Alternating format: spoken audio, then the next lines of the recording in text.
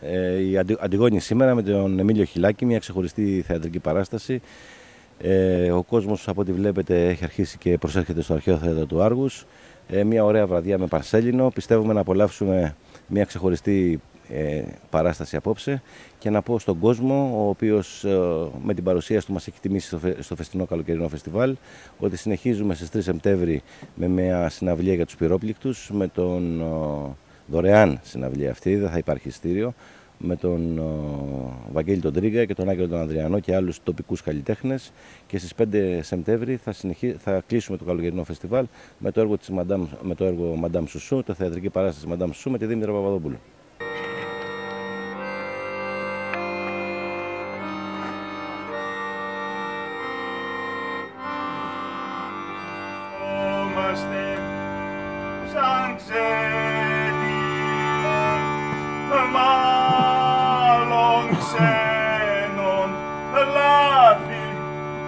recuerdo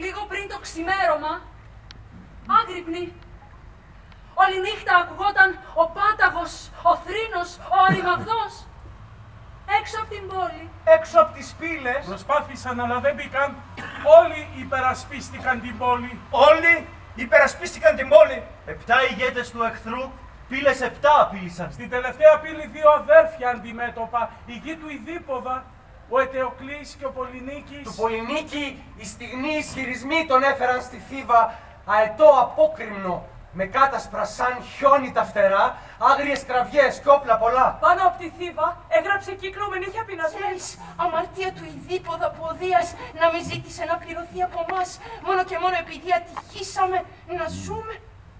Γιατί εγώ τουλάχιστον δεν βλέπω πόνο, συντριβή, έσχος και ατιμία που να μην καταβάλαμε. Ου, του κρέοντα, άκουσες τίποτα. Ή νομίζεις πως οι εχθροί μας έπαψαν να μας κυνηγούν; Όχι, Αντιγόνη. Δεν άκουσα.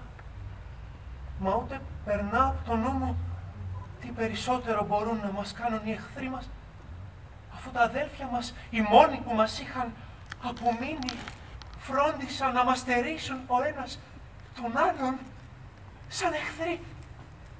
Και οι εχθροί αργοί έφυγαν και μας άφησαν ανάμεσα σε εχθρούς. Χειρότερα, καλύτερα, πραγματικά δεν ξέρω. Γι' αυτό θέλησα να βρεθούμε μόνες εδώ. Μόνες. Τι σκοτεινά είναι αυτά; Ο Κρέον σκοπεύει τον έναν αδελφό μας να τιμήσει και τον άλλον να ατιμάσει. Τον Ετεοκλή λέμε θα δώσει δίκαια στη γη των έντιμων νεκρών με τις τιμές που ορίζουν τα ήθη και οι νόμοι, ενώ τον Πολυνίκη διέταξε. Όχι να μην τον θάψει, αλλά να μην σκεφτεί κανείς να τον θρυνήσει καν έτσι άκλαυτος και άταφος να δώσει χαρά στα όρνια όταν δουν τι θησαυρό τους Να τον κυδέψουμε, παρά τη διαταγή. Ναι τον αδελφό σου και αδελφό μου. Κι αν εσύ δεν θέλεις, εγώ δεν πρόκειται να τον προδώσω. Ενάντια στον κρέοντα. Τι είναι αυτός, πατέρας μου ή αδελφός μου. Γνωρίζω με πόσο σεβασμό περιβάλλατε το θρόνο και τη δύναμη του λαΐου. Τον ίδιο σεβασμό δείξατε και στον Ιδίποδα, που ανόρθωσε την πόλη. Και όταν εκείνος χάθηκε, με φρόνημα ανάλογο συνδράματε τους γιους του. Τώρα λοιπόν, που εκείνοι έγραψαν την ανώσια μοίρα ο ένας του άλλου στις γης στη σκόνη, έμεινα εγώ εξαγχιστίας συγγενής με το θρόνο και τη δύναμη. Κανείς ωστόσο δεν μπορεί να ξέρει τι προσδοκά, τι σκέφτεται. Πώς κρίνει ο άνθρωπος πριν πάρει τους νόμους και την εξουσία στα χέρια του. Για μένα είναι ανάξιος αυτός που αναλαμβάνει τη διοίκηση της πόλης και φοβάται να πει τα πράγματα με το όνομά τους. Και ακατονόμαστος αυτός που προτιμά το φίλο από την πατρίδα. Ουδέποτε θα πω σωτηρία τη συμφορά όταν τη δω να έρχεται.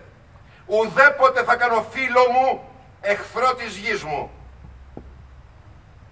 Αυτή πατάμε. Αυτή μας είναι πάντοτε πιστή. Έτσι σκέφτομαι. Έτσι κρίνω. Και άλλο δεν προσδοκώ από την τήρηση των νόμων και έχει νόμου χαρακτήρα η απόφαση που πήρα για τους γιους του Ιδίποδα. Οι πολίτες πρέπει να συμμορφωθούν. Διατάσω, ο Ετεοκλής που έπεσε υπερπόλεως μαχόμενος γενναία να ταφεί με όλες τις τιμές ώστε να απαλλαγεί από οποιαδήποτε ενοχή και άριστος ανάμεσα στους άριστους νεκρούς τη θέση του να βρει. Όσο για τον άλλον, τον αδελφό του εννοώ, τον Πολυνίκη, που πρώτα εγκατέλειψε και ύστερα θέλησε να πυρπολίσει την πατρική του γη και τους θεούς τους πολιούχους, αφανίζοντας το ίδιο του το αίμα. Η πόλη άταφο πρέπει να τον αφήσει. Κανείς να μην τον κλάψει ούτε να τον εκροστολίσει. Να μείνει εκεί που βρίσκεται για να χαρούν τις άρκες του τα όρενια και τα σκυλιά.